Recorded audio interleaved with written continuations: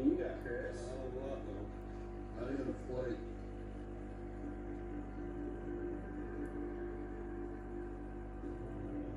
Wolverine shows Parker. Yeah.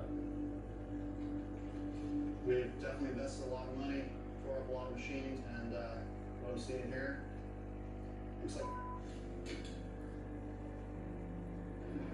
Parker's already 700,000.